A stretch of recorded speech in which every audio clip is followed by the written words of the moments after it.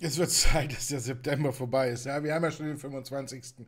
Auch diese Woche startet der DAX schwach auf der Brust und wir sehen, er reißt eine wichtige Hürde und wir müssen gucken, wie tief es geht. Und dann haben wir noch die chinesischen Autobauer, auf die wir heute gucken. Jetzt auf einmal fängt an NIO Handys und Chips zu bauen. Xiaomi baut Autos, nun denken die sich, dann bauen wir halt Handys. Also Vogelbild so ein bisschen auf dem chinesischen Markt, wie es dazugeht. Wir gucken uns die chinesischen Autobauer an, die deutschen Autobauer und wir gucken auf die Insel. Da gibt es auch Neuigkeiten und vor allen Dingen Aktien, die sich sehr gut schlagen. Also, hereinspaziert mit euch in die Wall Street Online Börsenlaunch.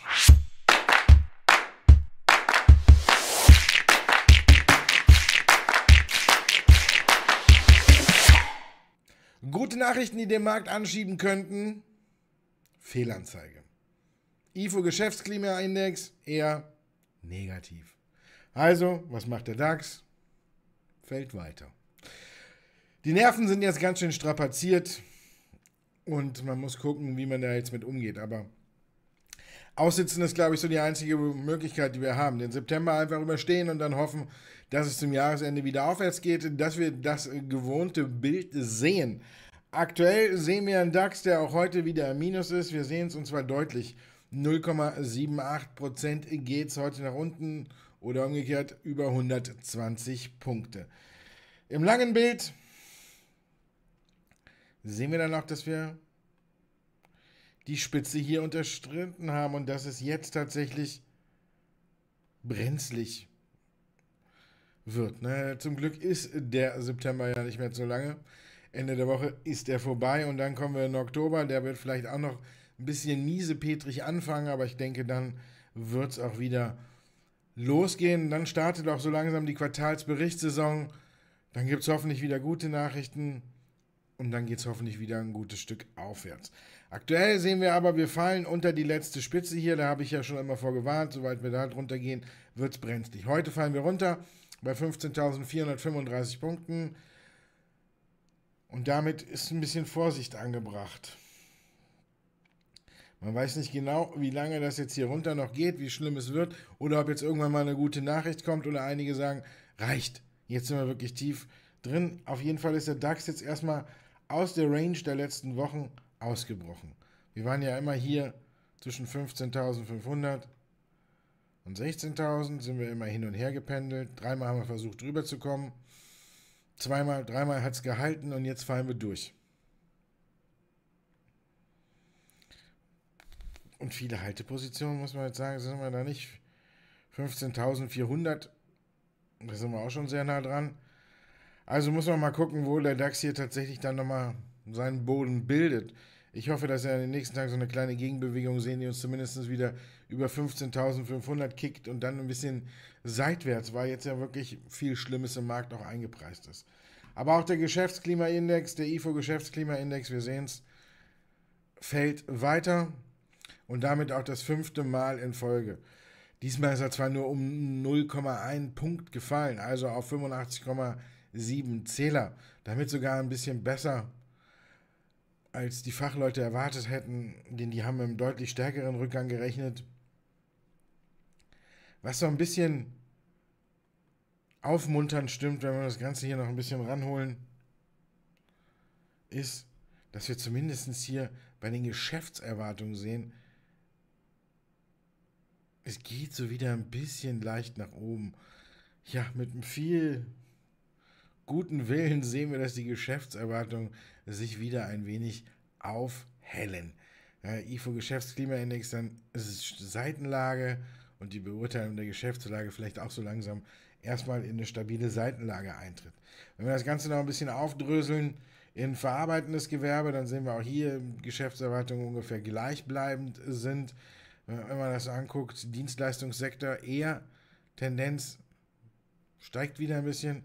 Bauhauptgewerbe passt gerade nicht ganz so aktuell, dass es hier nach unten geht, gucken wir gleich noch drauf. Und was ein bisschen positiv stimmt, ist der Handel. Also im Handel geht es wieder leicht aufwärts, klar. Klar sind die Geschäftserwartungen hier besser. Warum? Wer hat es erraten?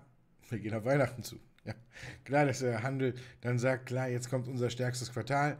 Weihnachten steht vor der Tür und jetzt fangen, fangen wir so langsam an, uns aufs Weihnachtsgeschäft vorzubereiten. In den Geschäften wir ja schon überall, ne? Die Weihnachtssüßigkeiten sind da. Fehlt eigentlich nur noch der rot eingepackte Weihnachtsmann, aber Spekulatius und alles, was das Herz erfreut, ist schon da. Da kann man also in aller Ruhe zugreifen. Deswegen natürlich auch beim Handel gehen die Geschäftserwartungen ein Stückchen nach oben. Überbewerten muss man es jetzt auch nicht, aber man kann ein bisschen natürlich danach sich orientieren. Und große Einzelhandelsunternehmen dürften jetzt hier dann tatsächlich wieder in den Fokus der Anleger rücken, obwohl Zalando heute klar am DAX-Ende ist. Ja, und dafür ist Heidelberg Materials ganz weit vorne. Wenn wir uns das angucken, sehen wir ein gemischtes Bild. Und es könnte vielleicht noch weiteres Ungemach drohen, denn die SEC, die amerikanische Börsenaufsicht, in Amerika läuft es ja eh gerade nicht. Und jetzt ähm, geht man man weiß noch nicht genau, was da rauskommt, ne? aber man sammelt fleißig WhatsApp von Börsenmaklern, von großen Kapitalsammelstellen und äh, großen Fonds. Da ist zum Beispiel die Kalai Group dabei, Apollo Global Management, KKR, TPG und Blackstone. Die sind alle aufgefordert worden, die Kommunikation über WhatsApp ihrer Mitarbeiter offenzulegen. Und in dem Bericht von Reuters steht schon drin, äh, einige Führungspersonen haben entweder freiwillig offengelegt oder erstmal ihr Handy oder ihre Kommunikation an ihren Anwalt übergeben. Also hm, hm. kommt da vielleicht auch nochmal was auf die Märkte zu, indem man hier dann merkt, wo intern sich ein bisschen abgesprochen wurde, wo intern ein bisschen gepusht wurde. Man weiß es noch nicht. Die SEC hat jedenfalls fleißig oder sammelt gerade fleißig Daten und dann haben drei Personen eben gesagt, die Führungskräfte hätten ihre privaten Telefone und andere Geräte. Bei solchen Dingen geht ja auch manchmal äh, der Trend zum äh, Dritthandy. Ihren, ihren Arbeitgebern oder Anwälten zum Kopieren übergeben. Mal gucken, ob da noch was Größeres draus wird. Jedenfalls greift die SEC hier wirklich durch.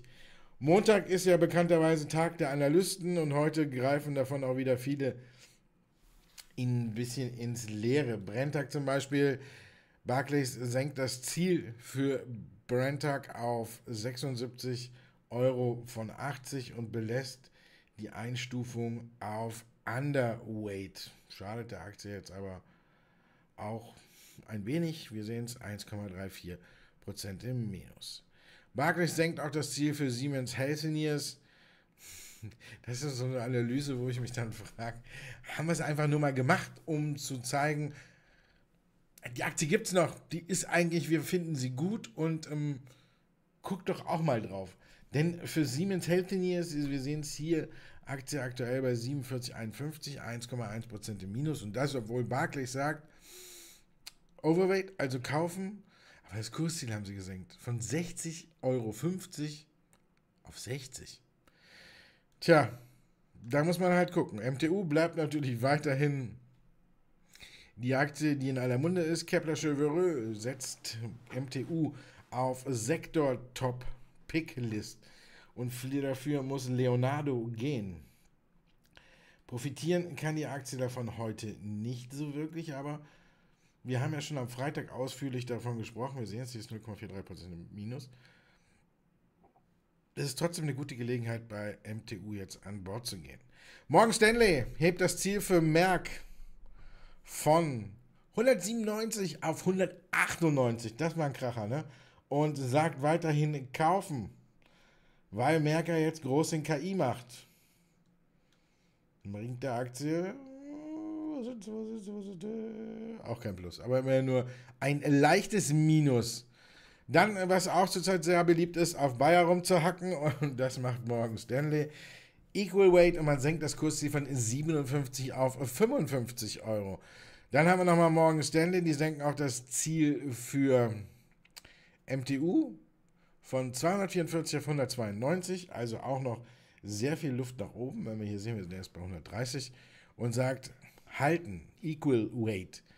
Sartorius kommt äh, so mittelprächtig weg. Auch hier wird das Kursziel gesenkt von 355 auf 350 und es bleibt die Einschätzung halten. Redburn senkt Bayer auf neutral und Morgan Stanley hebt dann, wo man auch so sagt, Evotech auf 28. Evotech hat es ja zuletzt auch extrem zerbröselt und deswegen macht hier Morgan Stanley mal einen Euro oben drauf, damit sich die Aktie wieder ein wenig fängt. Wird dir aber heute, glaube ich, auch nicht so viel helfen.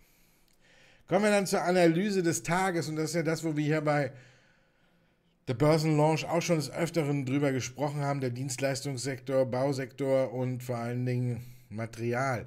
Heidelberg Materials ist heute von JP Morgan auf Overweight belassen worden. Das Kursziel ist aber von 80 auf 85 Euro erhöht worden. Heidelberg Materials zählt zu einer der Lieblingsaktien von JP Morgan aus der Branche. Sie haben noch zwei mit dazugenommen. Und zwar CRH, das ist Cement Roadstone Holding aus Irland. Die haben sie auch noch auf ihrer Top-Liste für eben Baumaterialien. Und Saint-Gobain, die kennen wir also aus Frankreich. Die drei sind die Top-Werte, auf die Morgan Stanley setzen würde. Ich natürlich wäre der Fan von Heidelberg Materials. Wir sehen es auch im Chart. Sieht das Ganze am ansprechendsten aktuell noch bei Heidelberg aus. Also an schwachen Tagen, so auch die ist Heidelberg Materials oder Heidelberg Zement, wie es früher hieß, immer mal wieder einen schönen langen Blick wert. Und dazu natürlich auch noch die Bauproduzenten, denn wir haben auch heute die Zahlen für Juli bekommen aus dem deutschen, aus der deutschen Baubranche und die sind so gut wie seit anderthalb Jahren schon nicht mehr. Im Bauhauptgewerbe ist jetzt inflationsbereinigt, die sind die Aufträge um 6,5 Prozent im Vergleich zum Vormonat gewachsen, wie das Statistische Bundesamt uns heute freundlicherweise mitteilt. Einen kräftigeren Zuwachs gab es zuletzt im Dezember 21, also 2021 war nur der Vergleich zum Vormonat besser als diesmal. Wenn wir uns das Ganze auf sieben Monate angucken, weil wir haben ja die Zahlen für Juli, dann sieht das Ganze schon wieder nicht so gut aus. Dann haben wir hier einen Auftragsrückgang von etwas mehr als 10%. Insgesamt trotzdem, wir sehen es auch hier, ich habe mal meine vier Topics mitgebracht. Vinci, Montaengil, Billfinger und Hochtief. Und hier ist die ganz klare Reihenfolge von mir, wenn ich mir das so angucke, wie ich sagen würde. Also, Montaengil, die ist ja auch im Musterdepot. Billfinger und Hochtief setze ich auf einen Platz, wobei ich so Hochtief so ein kleines bisschen besser finde. Und dann Vinci. Das also die vier aus der Baubranche. Wenn wir uns das nämlich angucken, auch das Neugeschäft im Tiefbau und dazu gehört eben auch der Straßenbau, ist besonders kräftig gewachsen. Hier liegt der Auftragseingang im Juli real um fast 15 Prozent zu. Also an schwachen Tagen guckt man sich auch mal eine Hochtief, eine Billfinger oder eine Monta Engil an. Und da haben wir gerade aktuell so ein schwächere Tage. Aktie kommt ein Stück zurück. Die Autoren haben sich geeinigt mit Hollywood. Man ist wohl so gut wie durch, die Verträge stehen. Nur jetzt müssen eben noch die Autoren in der internen Abstimmung äh, dem ganzen Deal auch noch zustimmen. Das wird aber als äh, selbstverständlich angesehen. Deswegen können wir vielleicht bald wieder neue Filme sehen. Wir sehen jetzt aber trotzdem, die Aktien reagieren heute leicht positiv darauf. Walt Disney liegt so leicht im Plus für mutige Anleger jetzt sowieso eine Einstiegschance. Man hat ja jetzt riesen Investitionen angekündigt. Jetzt ist der Streik weg. Da kann man doch schon von ausgehen, dass sich das Ganze ein wenig aufhält. Wer mutig ist, zieht jetzt schon rein. Wir sehen es hier, wenn wir uns das mal so angucken. Zum kleinen Aussetzer. Dann machen wir es mal hier so. Das Dreieck wird immer spitzer. Wir sind schon wieder am unteren Ende hier. Und wenn wir dann hier rausgehen, dann ist, glaube ich, so ein bisschen Erholung schon dabei. Also ganz mutige Anleger gehen jetzt hier unten ans Ende, gehen ran und setzen darauf, dass er erstmal eine Bewegung bekommt. Sollte sie vielleicht nochmal zurückschnalzen, die Aktie, dann kann man immer noch mal ein Stückchen aufstocken und wenn sie dann ganz rausgeht, dann hat man eigentlich einen, einen guten Einstiegskurs sich bei Disney gesichert. Also Disney ist auf jeden Fall ein sehr, sehr guter Kandidat aktuell für die Watchlist, wenn nicht sogar schon für die erste. Das berühmt-berüchtigte, ne? Füßchen in der Tür. Hier würde ich fast schon sagen, so in dem Bereich kann man sogar schon mal einen Fuß in die Tür setzen, nicht nur ein Füßchen. Netflix profitiert hingegen nicht so davon. Aktuell ist der Aufwärtstrend erstmal, wenn wir uns das angucken, deutlichst gerissen. Wir gucken nach einer Auffangmarke. Die könnte ungefähr bei 300, um die 350 liegen. Da haben wir hier nochmal eine starke Unterstützung. Ja. Aus diesem Grund ist Netflix jetzt nicht so aktuell die erste Wahl. Man muss jetzt mal gucken, wie sich das Ganze mit neuen Kunden abwickelt und alles.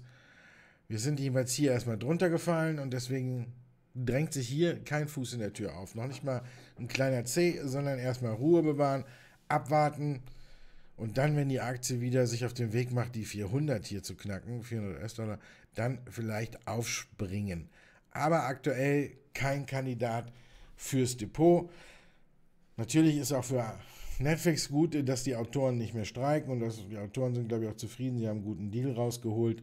Alles in Ordnung. Es soll sogar vielleicht schon und das auch, man denkt ja immer nur, Autoren machen Serien oder sowas, ne? Aber die sind ja auch bei den ganzen äh, Live-Shows mit dabei. Und die könnten schon wieder, in dieser Woche könnten die ersten Live-Shows, die Live-Talks schon wieder anlaufen. Deswegen Walt Disney ist ganz okay. Amazon Streaming-Dienst steht jetzt nicht so ganz im Vordergrund. Außerdem bin ich sauer auf Amazon, habe ich ja schon am Freitag gesagt, weil sie jetzt auch Werbung einführen wollen. Das äh, Finde ich natürlich nicht so schön. Auf der anderen Seite, klar, die müssen Geld verdienen. Amazon ist heute aber noch ein anderer Grund dabei. 4 Milliarden wollen sie auf den Tisch legen. Deswegen ist die Aktie im Plus und für, zwar für Anthropic. Das hier ist Anthropic, KI-Unternehmen. Natürlich ChatGPT-Konkurrent. Aber Anthropic hat sich das Ziel gesetzt, seine Arbeit dadurch hervorzuheben, dass es KI, KI trainiert, die moralische Werte berücksichtigt oder sich an moralische Werte hält. Also direkt mal hier direkt gesagt, bei uns ist KI sauber und wir müssen mal gucken, ob das wirklich so den großen Unterschied macht. Es gibt jetzt jedenfalls äh, über diese jüngste Finanzierungsrunde keine Auskunft. Jedenfalls hatte Amazon, glaube ich, erstmal 1,8 Milliarden auf den Tisch gelegt, um reinzukommen. 2,2 Milliarden kann Entropic noch dazulegen.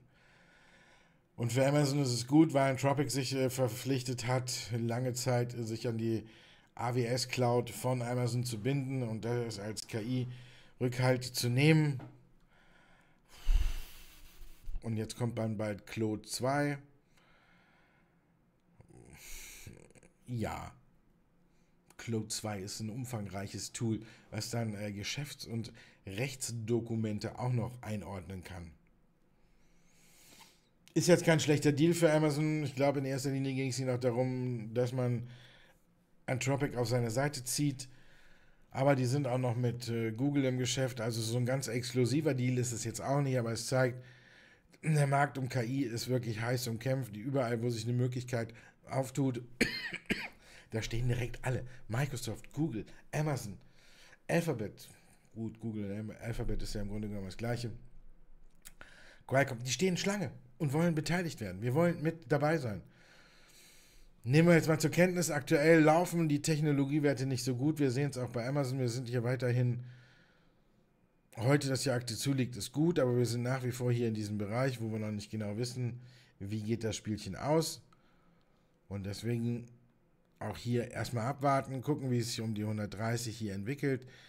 Wenn die Aktie jetzt in dieser Range bleibt und sich wieder auf dem Weg Richtung 140 macht, dann kann man durchaus mal draufspringen.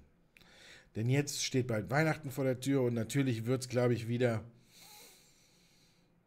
Thanksgiving-Schnappschuss geben. Das ist ja dann eben auch die Mutter aller Black Fridays und dass man da dann wirklich sein Geld von Thanksgiving mal direkt Kosten für den Anleger oder für den Käufer gefühlt günstig an den Mann bringt. Also das steht noch vor der Tür, das dürfte Amazon mit Sicherheit auch nochmal Schub verleihen, aus diesem Grund. Halteposition auf jeden Fall, Neueinstieg ist noch ein bisschen gefährlich. Und wo wir gerade beim Streik oder bei der Streikbeendung sind, da feiert heute diese Aktie hier. Wie Dendum. Die war schon zweistellig heute im Plus und kommt jetzt ein bisschen zurück. Na, sie ist schon wieder auf zweistellig hochgeklettert. Und hier sehen wir auch, zum einen gehen wir über eine wichtige charttechnische Marke, über die 6. Das macht schon mal Appetit auf mehr, dass wir hier aus, diesem, aus dieser Range runterkommen. Hier unten Boden wirklich gefunden, jetzt explosiv rauf. Und dann sagt er immer Max immer, ne, nicht äh, Fahnenstangen oder solchen Anstiegen hinterher springen. Ja, warten, dass die 6 sich bestätigt und dann kann man auf die Aktie wirklich noch draufspringen. Denn wir haben hier diese Kerze hier, wo es so nach unten ging. Das ist der Anfang des Streiks. Und da sehen wir, da hat es Videndum um die 8 zerbröselt. Und ich glaube, jetzt, wenn sich alles wieder ein bisschen ordnet, kann die Aktie durchaus eine gute Chance, auch wieder bis zu dieser 8 zu laufen. Und das sind dann immerhin ne, ungefähr 2 Pfund, 6 Pfund, sind 30 über, um die 33 Prozent, die hier noch möglich sind. Also, Videndum mal auf die Watchlist setzen, gucken, dass wir über der 6 bleiben und dann kann man durchaus sagen, kann man hier wirklich aufspringen. Jetzt fragen sich alle, was machen die? Und warum? Die sind bei den Talkshows mit allen Sachen immer vertreten und verleihen und verkaufen Equipment fürs Studio. Also, wenn alle streiken und es keine Talkshows und gar nichts gibt, kauft auch keiner neue Sachen. Jetzt ist vielleicht die Phase, wo man alle wieder zugreift oder wo man mietet. Und deswegen ist Videndum heute deutlich im Plus und deswegen sollte man sich die Aktie auch merken. Merken sollte man sich auch Transcends, Transcends, Transcends Technologies. Auch hier gehen wir heute wirklich kräftig nach oben, aber vorhin war es auch ein bisschen mehr, vielleicht auch nochmal mehr geworden. Nee, heute nicht mehr. Im Laufe des Tages also verliert die Aktie wieder ein wenig, wenn wir uns das angucken. Ich sehe heute ein bisschen Achterbahn gefahren. War also auch schon deutlich größer im Plus. Aber auch hier kann man durchaus mal äh, die Aktie auf die Watchlist setzen, denn die Zahlen waren gut. Und deswegen geht die Aktie jetzt auch hier erstmal richtig aus dieser Range, die wir hier hatten, raus und geht nach oben. Und wenn man sich das Ganze längerfristig anguckt, ist da noch ein ganz gutes Stück Luft nach oben. Besonders wenn man sich es auf 10 Jahre, ups, wenn man sich auf 10 Jahre anschaut und dann sehen wir, wenn die Aktie hier tatsächlich diese Spitze wieder nimmt, dann ist jetzt wirklich noch Luft nach oben. Bis dahin ist aber noch ein bisschen, aber die Zahlen, die wir jetzt sehen, machen tatsächlich wieder Lust auf mehr. Umsatz ist um 34% gestiegen, dann haben sie ihre eigenen äh, Segmente nochmal aufgedröselt und dann sehen wir, sie wachsen in allen Segmenten. iTrack ist um 29 gestiegen, Translogic um 17% und SourceSense ist um 146% gestiegen. Ist zwar jetzt hier noch nicht der Riesenumsatz, wenn wir uns das angucken mit 500.000 Pfund, aber natürlich 146% Steigerung ist schon mal eine Marke. Ne? Also, und dann sehen wir hier tatsächlich, dass die wirklich sehr, sehr gute Zahlen gebracht haben. Jetzt ist die nächste Frage, was machen die? Die machen alles, was mit Sensoren zu tun hat. Und das machen sie tatsächlich sehr gut. Und deswegen sollte man die Aktie sich auch auf die Watchlist setzen. Auch ein sehr, sehr interessanter Wert. Zahlen sind gut, Zahlen sind gut angezogen und deswegen sollte man auf jeden Fall dabei bleiben. Weil Neva heute auch mal mit einem kleinen Lichtblick und es sieht danach aus, als wenn die 6 erneut hält und wir jetzt heute wieder eine leichte Gegenbewegung sehen, würde ich aber trotzdem nicht überbewerten oder jetzt als Anlass nehmen, auf die Aktie unbedingt aufzuspringen. Es ist ein Vertrag vom US oder ein neuer Vertrag mit dem US-Verteidigungsministerium, der mindestens 32 Millionen äh, Dollar bringt. Es geht um eine Krankheit, um die japanische Enzephalitis. Da hat Valneva nun mal den einzigen Impfstoff und der wird halt jetzt von der US-Regierung für die Soldaten gekauft. 32, man hat jetzt in Höhe von 32 Millionen gekauft. Die ersten Lieferungen sollen schon erfolgen und die US-Regierung hat sich noch quasi einen Bonus einräumen lassen oder dass sie noch mehr kaufen können, wenn sie möchten. Haben sie aber noch nicht. Vielleicht machen sie es auch nicht. Würde ich jetzt mal bei Valneva zur Kenntnis nehmen und dann reicht es auch schon damit. Kommen wir zu den chinesischen Autobauern. Wir sehen heute, NIO verliert 5,36%, Li Auto verliert 6,49%, also es brodelt ein wenig. Das ist aber wiederum jetzt eine Sache, ähm, die man nicht überbewerten darf. Denn, ja, Zeit nach China zu ziehen. Ähm, die haben jetzt eine Feiertagswoche vor sich. Eine Woche Feiertag. Das ist doch auch mal was, ne? Das ist tatsächlich der Fall und da sieht man aber auch, wo die größte Angst bei den Anlegern sitzt, in dieser Woche irgendwie bös überrascht zu werden und nicht rauszukommen. Nämlich bei NIO mit 5,36% und vor allen Dingen auch bei Li Auto, wo es heute 6,49% nach unten geht. Also hier sind die Sorgen groß, dass innerhalb von einer Woche schlechte Nachrichten reinkommen könnten. Dabei sind ja jetzt erstmal Freitag noch äh, gute Nachrichten rausgekommen von NIO, aber ich bin auch so kein großer Freund davon. Auf der einen Seite waren sie natürlich gezwungen, wenn die USA jetzt sagt, und das merkt man natürlich auch dann wieder, wir exportieren die besten Chips gibt es nicht mehr für China. Da gab es ja mal früher so eine Werbung. Ne? Ich nehme das zweitbeste Steak für meine Frau. Ähm, und so ist es dann auch mit den Hochleistungschips aus den USA. Da darf das zweit- bis drittbeste Produkt noch nach China importiert werden. Das erste Nummer eins aber nicht. Aus diesem Grund ist natürlich auch NIO und andere gezwungen, das vielleicht selber in die Hand zu nehmen. Haben sie jetzt auch gemacht. Und zwar Yang Yang ist der erste von NIO selbst produziert und, und entwickelte LIDA Hauptsteuerungschip und der wird nächsten Monat offiziell in die Massenproduktion gehen. Zum Glück ist der September nicht mehr so lang. Von Börsenansicht aus das ist ein Chip, der verfügt über einen 8-Kern 64-Bit-Prozessor, 8-Kanal 9-Bit-Abtastung und eine Abtastungsrate von 1 GHz. Partner bei der Entwicklung war InnoVusion. Also die bauen jetzt auch ihren eigenen Chip. Aber das ist nicht das Einzige, was sie jetzt auch noch bauen. Sie bauen jetzt auf einmal auch noch Handys. Und der Vorstandsvorsitzende rechnet damit, dass ungefähr 50, also mindestens Minimum die Hälfte aller NIO-Autofahrer sich dann auch ein NIO-Handy kaufen. Hm. Das war umgekehrt, weil ich, hätte ich mal gucken können. Ne? Hätte ich mal gucken können. Vielleicht rechnet ja auch Xiaomi damit, dass äh, 50% aller Xiaomi-Handynutzer sich ein Xiaomi-Auto kaufen. Mal gucken, wer dann da größer oder besser wegkommt. Also man baut nicht nur ein Handy, oder Hochleistungschip. Man hat dazu auch noch eine eigene App entworfen, die man natürlich auf dem Auto nutzen kann, einen eigenen App Store sogar für das Auto, wo es dann verschiedene Sachen gibt. Und ja, das war's. App Store, Betriebssystem, Hochleistungschip und Handy. Prima. Was will man mehr? Und das ist das Problem, was ich aktuell mit chinesischen Aktien habe, mit einer Xiaomi, die auf einmal, Xiaomi, die auf einmal Autos baut, mit einer NIO, die auf einmal Handys baut. Ist der Automarkt schon so gesättigt in China? Man muss ja tatsächlich aufpassen. Und jetzt war ja das letzte Woche schon bei NIO, was sie alles verkündet haben. Und wenn wir dann habe ich mal die letzte Woche äh, Revue passieren lassen, was jetzt so alles da passiert ist.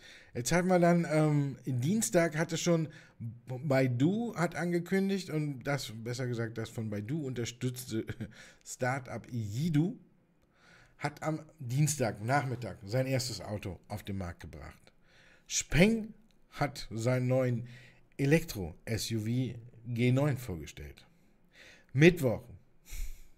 Build Your Dreams hat angekündigt, dass man den Yang Wang U8 für rund 150.000 US-Dollar verkauft. Ich glaube, äh, so viele Chinesen werden den dann trotzdem nicht kaufen. Dann hat er diese Woche noch ähm, Build Your Dreams angekündigt, dass man eventuell jetzt auch in Mexiko Autos bauen möchte für den amerikanischen Markt, natürlich auch nordamerikanischen Markt. Vielleicht wird man da ja Nachbar von Tesla. Die bauen ja gerade da die Gigafabrik fertig, verzögert sich aber etwas. Nachdem Indien ja Build Your Dreams nicht wollte, könnte es jetzt gut sein, dass die nach Mexiko ausweichen. Am gleichen Tag, auch Mittwoch, hat zum Beispiel ArcFox, es müssen ja nicht alle chinesischen Autobauer auch noch direkt börsennotiert sein, sondern da gibt es die wie, wie Sand am Meer. Und die haben am selben Tag der Ankündigung von Build Your Dreams am Mittwoch ein Massenauto auf den Markt gebracht, das sich an junge Eltern richtet. Viel Platz für wenig Geld. Und Leap Motor hat am gleichen Tag auch nochmal zwei Elektroautos für den Massenmarkt präsentiert und auf den Markt gebracht. Da sieht man schon, in China ist ein bisschen Vogelwild. Ne? Also klar, dass die jetzt alle, weil ja alle immer darüber diskutieren, jetzt überschwemmen uns die Chinesen mit Autos. Die haben eigentlich gar keine andere Wahl, muss man tatsächlich mal sagen. Und dann ist jetzt die Frage, wem gefallen die Autos? Und ich glaube, in China werden noch einige Autobauer in den nächsten Jahren auf der Strecke bleiben, weil tatsächlich die Autos entweder zu teuer sind und sich auf den oder in Europa nicht durchsetzen und auf dem heimischen Markt das Potenzial ungefähr so gut wie ausgeschöpft ist. Wenn man jetzt guckt, jetzt habe ich nur die paar genannt, ne? jetzt haben wir noch eine Bike, die sind äh, zweitgrößter Produzent in China. Die sind zuletzt wenigstens ein bisschen angestiegen.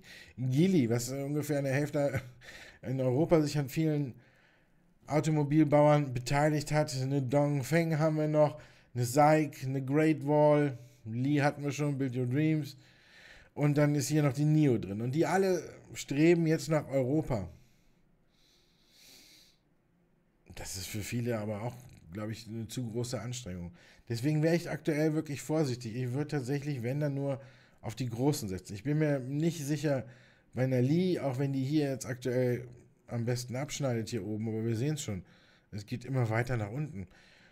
Auch, jetzt kreuzigen mich alle, ne? aber auch eine NIO finde ich weiß ich nicht, ob die das ganze Spektakel am Ende des Tages wirklich komplett überleben. Vielleicht werden sie am Ende nur noch Handybauer und die, Leo, und die NIO-Autos kommen dann in die Vitrine. Das haben wir auch mal gemacht.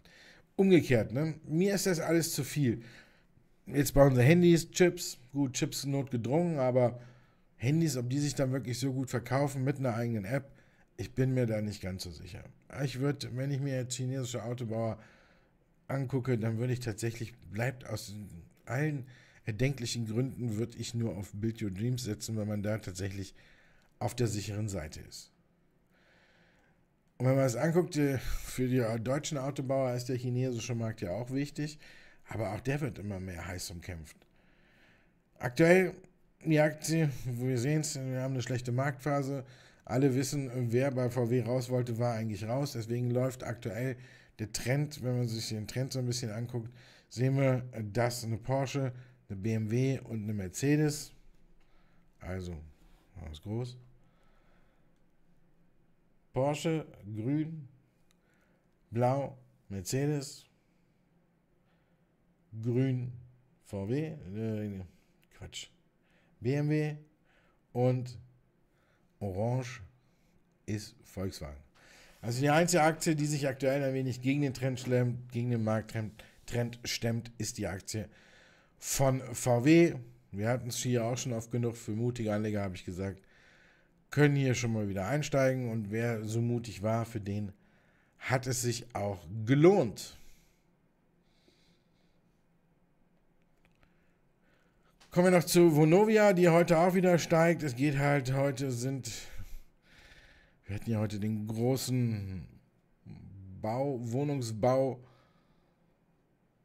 Talk der Bundesregierung und da sind ein paar positive Sachen rausgekommen.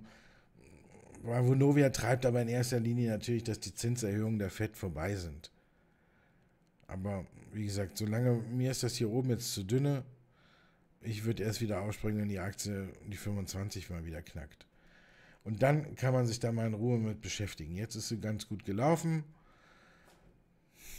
Und jetzt weiß sie aktuell, wenn wir es ein bisschen kleiner machen, natürlich nicht ganz so genau, wo sie hin soll. Sie kämpft hier so mit der 24, mal ist sie drunter, mal ist sie drüber. Und insgesamt bricht sie aus, kann man aufspringen, fällt sie wieder nach 22 oder fällt sie erstmal wieder ab. Dann würde ich um die 22 wieder zugreifen. das ist der Weg. Das ist der Weg, wenn wir uns das angucken, den man machen sollte oder einschlagen sollte. Die Lufthansa jammert heute über nicht einheitliche Zinsen in der Europäischen Union. Carsten Spohr hat eine Reform der Luftverkehrssteuer gefordert. Die Einnahmen sollten zum einen in die Entwicklung nachhaltiger Kraftstoffe fließen und dann würde sich äh, der Vorstandsvorsitzende der Lufthansa auch noch wünschen, dass der Koaliz Koali Koalitionsvertrag an dieser Stelle umgesetzt wird. Für gleiche Wettbewerbsbedingungen müsse zudem eine europaweite Luftverkehrssteuer gelten. Ja. Dass der Gute fordert und die Bundesregierung umsetzt, sind wahrscheinlich wieder mal zwei Dinge. Dass die Acht noch hält, ist kein, ist gut. Solange wir hier nicht nachhaltig abkippen, auf jeden Fall erst nochmal halten. Sollten wir runterkippen, vielleicht hier in dem Bereich einen Stoppkurs setzen, damit man nicht böse überrascht wird, denn wenn man hier drunter fällt, dann dürfte der nächste halt erst um die 7 sein. Also aus diesem Grund halten und genauestens beobachten. Und weil wir es die Woche noch hatten mit der Übernahme Microsoft von Activision und mit Ubisoft, wie sie da rauskommen, wir sehen es. Sie kommen da wirklich jetzt mal ganz gut raus im langen Bild gehen wir jetzt hier drüber. Und das ist gut. Und dann könnte es tatsächlich auch jetzt Richtung Weihnachten und neue Spiele und alles Richtung 40 nochmal wieder laufen. Und zudem hatte die BMP Paribas Ubisoft jetzt von äh, auf Outperform angehoben und man sieht das Kursziel bei 37 und da sind wir dann ungefähr auch hier. Ich sag, Februar steht sie bei 40 falls nicht die Welt irgendwie untergeht oder irgendeine schlechte Nachricht kommt. In diesem Sinne, Ubisoft ist auch immer gut. Und ich bin eigentlich fertig. Und guck mal, was so im Chat los ist. Heute Meldung, dass Blume bei VW und PR. Zu schnell.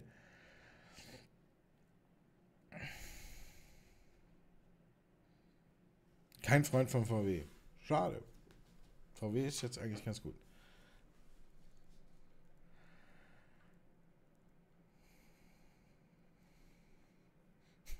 VW verkauft, Tesla juckt mich. Auch bei Build Your Dreams bleibe ich natürlich drin. Alles gut, Rudi.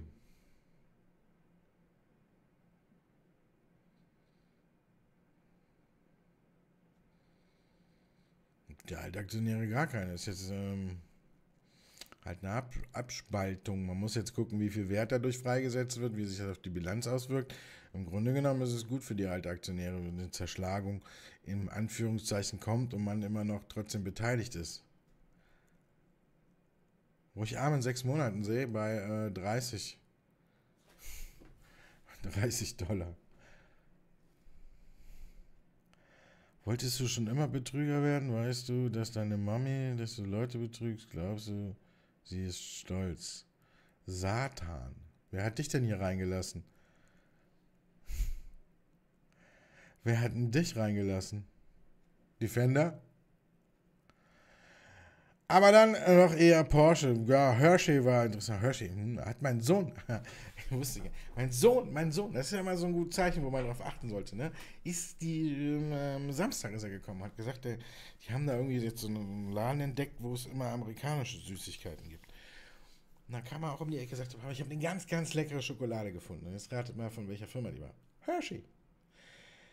Mutaris äh, läuft gut, sie haben es gemacht, das ist eine sehr, sehr gute Halteposition. Sie haben wieder was verkauft. BHT oder Altria würde ich aktuell Altria nehmen. Ähm, Mutaris äh, würde ich auf jeden Fall halten. Da könnten noch ein paar gute Nachrichten kommen, alles gut. Rank IPO bin ich noch ein bisschen vorsichtig. Ich habe mir jetzt, morgen ist die Zeichnungsfrist, ab morgen beginnt sie und morgen gucken wir sie uns nochmal genauer in der, ähm, in der Sendung an, in der Börsenlaunch. Morgen werden wir da genauer drauf eingehen. Das ist, genau, kann ich mir direkt schon mal aufschreiben. Ich habe es nämlich heute gelesen, morgen beginnt die Zeichnungsfrist. Wir haben ja noch ein bisschen, kommt ja dann erst im Oktober, aber rein gucken wir uns morgen nochmal an. Aktuell, so auf den ersten Blick, bin ich äh, nicht so überzeugt. Aber ich gucke mir das nochmal in aller Ruhe an. Schon wieder Stammtisch im Böbling. Ihr kriegt wohl den Hals nicht voll genug, ja? Sehr schön, dass ihr euch immer so oft trefft. Finde ich gut. Bei Porsche gab es heute einen Insiderkauf. Shot Farmer zeichnen. Haben wir äh, Win some, lose some, haben wir in der letzten Woche schon geklärt. Und da haben wir Shot Farmer mit Gerresheimer verglichen. Mein Ergebnis war lieber Gerresheimer kaufen als Shot Farmer zeichnen. Kannst du ja nochmal alles angucken. In den Timestamps findet man das ja wieder. Und das gleiche gilt für Stefano. Verbio noch aufstocken und zwar heute ist denn. Warum denn gerade heute? Jetzt schreibe ich aus Versehen da oben auch schon heute rein, anstatt Verbio. Was ist heute los? Ich würde noch warten. Ich glaube, dir fällt noch ein Stückchen, obwohl ich das Musterdepot habe. Heul, Schnief. Wir sind hier an einer ganz entscheidenden Stelle. Ich würde erst wirklich hier auf, um, ähm, ja, da auf eine positive Gegenbewegung abwarten. Jetzt haben wir gerade schlecht, aber Verbio zu kaufen ist mit Sicherheit nicht die schlechteste Idee. Das äh, halten wir schon mal fest. Aber es ist schwierig, den richtigen Einstandspunkt zu finden. Das gebe ich ja zu. Aber ich glaube, hier muss man ja sehen. Jetzt sind wir gerade hier. Hält das, kaufen, fallen wir da aber nochmal runter, dann kann es auch durchaus sein, dass wir die Tiefs hier nochmal testen und dann kann man hier günstiger reinkommen. Vielleicht jetzt eine kleine Position und erstmal abwarten, je nachdem, wie weit man da ist. AGNC mal anschauen für morgen. Da mache ich doch glatt.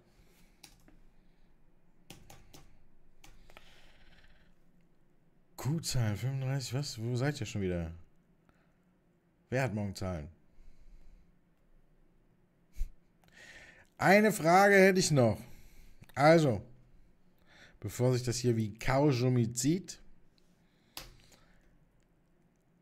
Oder hängt es schon wieder? Nein. Ein Stiefelchen in die Tür stellen. Nikolaus, ja, kommt auch bald. Schnuffel, da sind wir auch nicht so weit weg. Steve K., kommst du jetzt erst, weil du Hallo sagst? Kraft Heinz, allerhöchstens halten. Bonduell ist das famose. Wer weiß, wie es weitergeht? Ja, aber auch noch nicht jetzt. Abwarten, bis die Stimmung sich wieder ein bisschen aufhält. Es kann alles noch ein bisschen nach unten gehen. Aktuell sind wir wirklich äh, ganz brenzlig unterwegs. Wenn ich jetzt sage, kaufen, kaufen, kaufen, dann kann es auch sein, dass er viel Geduld braucht wir nach unten kommen. Nexterra Energy auf lange Sicht ja. Ob man jetzt schon hin. Genau, Mick. Was ist das für eine famose Zartgemüse aus der Dose? Das ist hervorragend. So, Markus fragt, was hältst du von Daimler Truck? Gut, aber hier haben wir halt dieses kleine Problem, dass sie, ja, KTP hat es auch gefunden, ähm, dass sie so ein bisschen das natürlich schön machen und sagen, wir nehmen nicht jeden Auftrag an, aber sie sind an der Oberauslastungsgrenze, Oberkante, Oberlippe. Und dann ist natürlich schwierig, die Zahlen weiter zu steigen und die Aktie auch weiter nach oben zu bringen. Ist natürlich schön, wenn man ausgebucht ist, aber die Börse will natürlich Wachstum sehen. ASML ist, äh, ja, auf lange Sicht ist auch ein Kauf. Verbio hat morgen Zahlen, dann würde ich ja trotzdem nicht kaufen.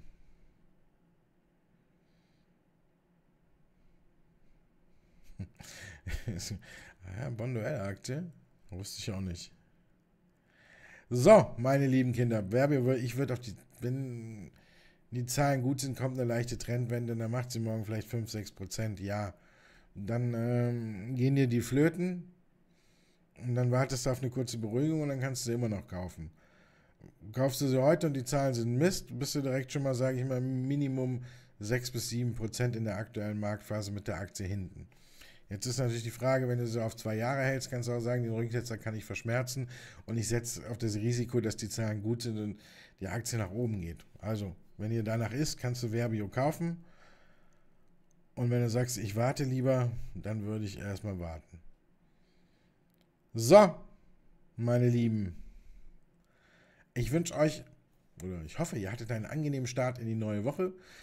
DAX-technisch war er nicht so schön, aber es können ja auch bessere Tage kommen. Und der Oktober ist nicht mehr so lang. Sechs Tage.